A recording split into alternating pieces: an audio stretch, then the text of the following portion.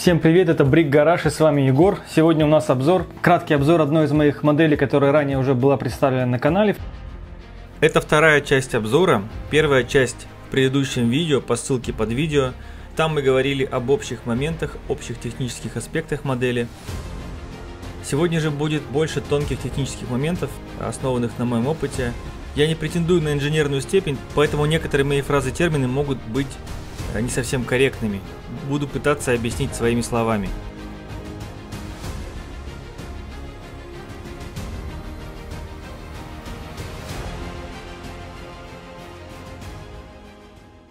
А, говоря о подрессоренных и неподрессоренных массах, важно а, понимать это все в комплексе – если погуглить, э, посмотреть в Википедии, то есть даже некое идеальное соотношение подрессоренных и неподрессоренных масс. Порядка там 1 к 15. Так вот, подрессоренные массы это то, что у нас э, плавает на подвеске. То есть сам кузов, рама, э, все, что, собственно говоря, колышется вот так вот над землей. А неподрессоренные массы, соответственно, это то, что всегда остается на земле. Это колеса, диски, элементы, там, ступицы, часть подвески и так далее. Так вот, если у нас подрессоренные массы легкие, это кузов, то представьте ситуацию, когда машина налетает на кочку, и у нее э, у машины легкий кузов, при этом тяжелые колеса, то машине легче вместо того, чтобы отработать амортизатором, машине легче подкинуться вверх, грубо говоря, подскочить над кочкой, не сжимая амортизатор. Потому что амортизатор в этом случае жестче, чем а, вес машины, который сверху давит, поджимает амортизатор сверху. Поэтому на тяжелых машинах, там, не знаю, ну, джипы само собой, но и какие-то представительские S-классы, а, они сами по себе тяжелые, поэтому на них ход плавнее, потому как вес, подрессоренный вес высокий, и подвеска при этом очень хорошо отрабатывает. Поэтому кажется, что машина плывет над землей, стелится. На самом деле она просто тяжелая, и за счет того, что большая инерция, машине сложно подскакивать на кочках, на каждой какой-то там ямке и пригорке подскакивать. Здесь у нас легкий зад и достаточно э, тяжелый мост ввиду того, что там закреплен мотор. Так вот, чтобы машине не подбрасывать зад на каждой кочке, нужно сделать либо потяжелее зад, не знаю, запаску сюда какую-нибудь налепить, либо сделать мягче заднюю подвеску, чтобы она легче продавливалась мостом. И если смотреть видео, когда машина там на слоумо едет, и видно, как колеса у нее так вот на каждой кочке подскакивают, а кузов ровно едет над землей, не шелохнувшись, это говорит о том, что подвеска настроена хорошо, и соотношение между массой подрессоренной и подрессоренной примерно выдержано. А, спереди и сзади используются желтые амортизаторы. Желтые это жесткие, притом сзади они работают гораздо мягче. Чтобы это объяснить, я подготовил такой вот небольшой вот вспомогательный материал. То есть мы видим здесь эффект так называемого плеча или качелей, когда у нас э, вот эта вот красная это рама, здесь у нас точка крепления заднего моста, это как будто бы тяги у нас, на которые у нас сама ось отдаляется от точки крепления. Вот мы видим, что если мы устанавливаем амортизатор максимально близко, вот максимально далеко, точнее, от самих колес, от самой оси, то у нас, во-первых, э, подвеска легче сжимается, ну, опять же, тот же эффект плеча, и во-вторых, у нас э, получается очень хороший ход. То есть, если у нас ход амортизатора здесь не более 200, то мы видим, что над колесом у нас происходит сжатие тут гораздо больше. Тут, наверное, 4-5 студ э, сокращение идет. Вот за счет того, что мы э, создали такое плечо, у нас подвеска стала мягче, и при этом у нас э, стал больше ход. Если мы сейчас сместим амортизатор ближе к колесу, то мы увидим, как у нас изменится работа подвески. Смотрите, сейчас у нас подвеска гораздо жестче стала, и при этом ход уменьшился. Кстати, можно также менять и не только расположение амортизатора ближе и дальше от колес, также можно менять наклон. Вот сейчас мы поменяем немножко наклон, и видим, что тоже поменяется то сейчас у нас амортизатор стал опять жестче, ну и уход опять уменьшился. Вот. Либо мы сейчас максимально сдвинем, у нас будет максимальный ход, и амортизатор будет максимально мягкий, точнее подвеска ход. Пример такой же принцип используется в трофи-траках, если вы посмотрите каркасники, каркасные трофи-траки, там тоже амортизатор, он стоит максимально далеко от колеса, практически рядом с э, точкой крепления рычагов. Кстати, то же самое распространяется на независимую подвеску. Если у нас сейчас был мост не разрезной, то если мы закрепим колесо вот так вот, это у нас будет уже как будто бы независимая подвеска. Здесь тот же самый принцип.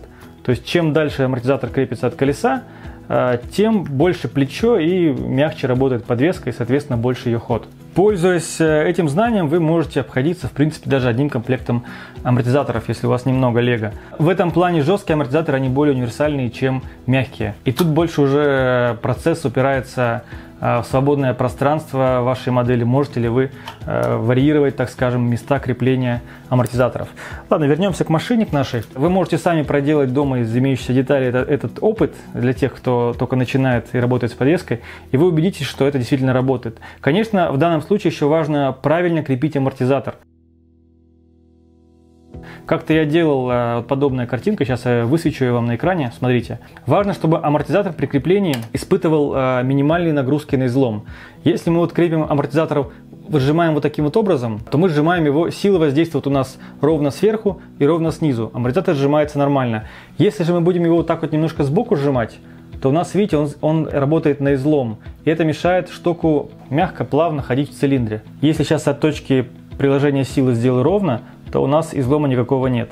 То же самое при работе амортизаторов происходит, когда мы устанавливаем их неправильно в машине. Если у нас одностороннее крепление амортизаторов, то у нас идет излом и подвеска по сути не работает. Чтобы она работала, нужно либо крепить так, чтобы точки приложения были ровно посередине, то есть это в этом случае нужно крепить с двух сторон сверху и с двух сторон снизу чашку крепления. В этом случае при сжатии будет все нормально работать.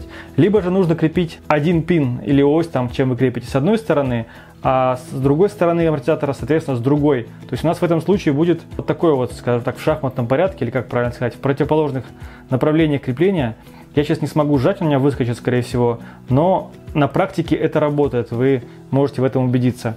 Вот, это важное условие для работы амортизатора, для мягкой работы амортизатора без лишнего трения.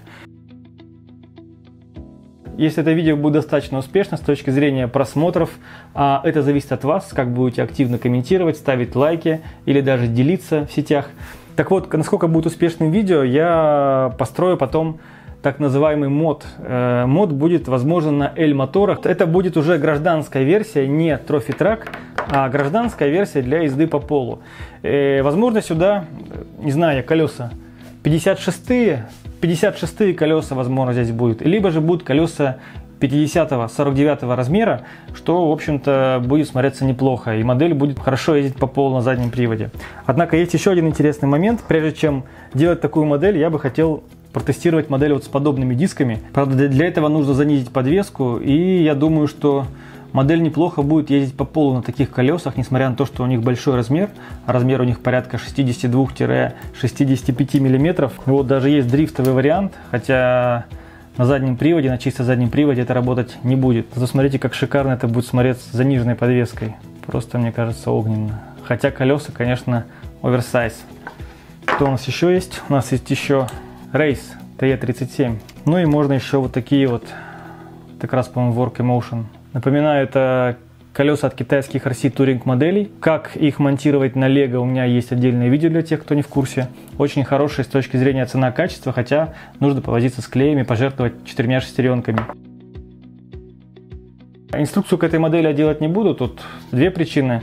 Точнее, даже одна причина – это дороговизна модели, которая получается в итоге, потому как баги мотор, его необходимо либо S-бриком на самый худший так сценарий, либо бувизом снабдить. Поэтому себестоимость данной модельки выходит, ну, порядка 25 тысяч, наверное, только благодаря электрике эта цена. Если строить модель чисто для фана, проще купить дешевую китайскую трофи-трак, там, я не знаю, сколько она, 3-5 тысяч, может быть, стоит с Алиэкспресса, погонять и удовольствие получите гораздо больше, чем от постройки и игры вот с такой моделью. Хотя, конечно, кому-то интересен сам процесс, процесс постройки, подвески, шасси и потом игры в это. Игра, конечно, не очень интересна в том плане, что даже бувиз, он у меня иногда выключался при нагрузке от, э, от работы с баги-мотором, который, как известно, жрет очень много тока.